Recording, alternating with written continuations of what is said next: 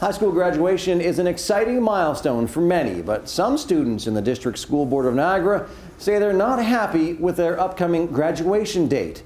Eric Vino joins us live in studio with more on this. Eric? Hi, Adam. I spoke with two students who go to Eden High School in St. Catharines.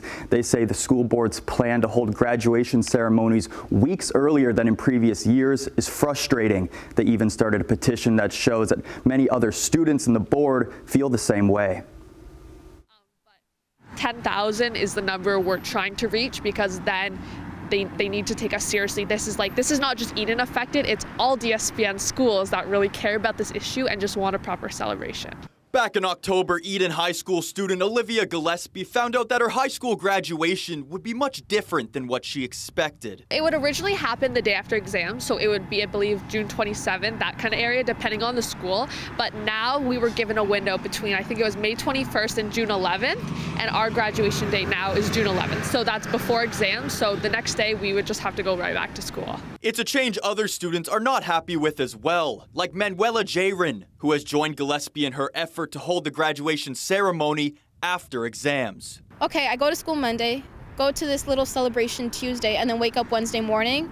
No, I would rather use my Tuesday night to study for the exams that I have. The two students say that a proper high school graduation is extremely important for them because the pandemic disrupted another major graduation almost four years ago. The same thing happened to us in grade 8. We didn't get a graduation. We had to go back at the end of the school year just to pick up our diplomas and medals and things like that. Like just a package, right? And the same thing is going to have to happen here, right? Because if we're going back to school the next day, we haven't officially received our diplomas or medals yet, so it would just be the same thing. Along with starting a petition, both Gillespie and Jaren have contacted multiple board representatives, including the DSBN Superintendent of Curriculum and Student Achievement for secondary schools. But they say they're not getting answers. You're listening to us, but you're not really hearing us. Like you're not really paying attention to the things that we are saying. And that is so crucial. If your entire thing is student voices matter, student voice matter, we're here for you.